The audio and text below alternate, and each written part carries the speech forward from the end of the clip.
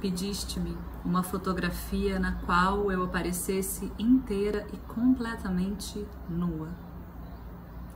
Não sem hesitação, tão certa de que não sou dada a essas ousadias, quanto de que para tudo há uma primeira vez, atendi a teu pedido.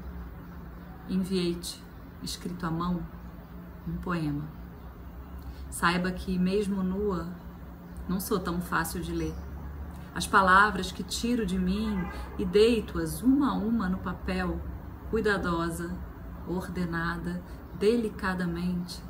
Sabe um leitor atento o quão nuas me deixam. Se pões sobre elas olhos sedentos, verás meu corpo contornado por fora e por dentro como jamais em outro estado, mesmo quando eu esteja despida e duplicada diante de um espelho multiplicada por N pedaços refletores, jamais poderás ver toda a minha nudez inteira da forma como aparece na poesia, escrita à mão, no caderno pautado de espiral, na penumbra da insônia, na vigília, em que me pus em agonia despudorada a despir-me apenas para que pudesses me admirar, nua, em topless, poético, quando estivesses só.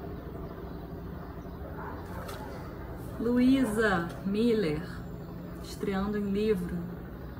Que livro lindo! Esse poema se chama Nudez e eu me senti muito representada. Parabéns, Luísa. Leiam Mulheres. Lançamento, editora Sete Letras. Das melhores casas do ramo.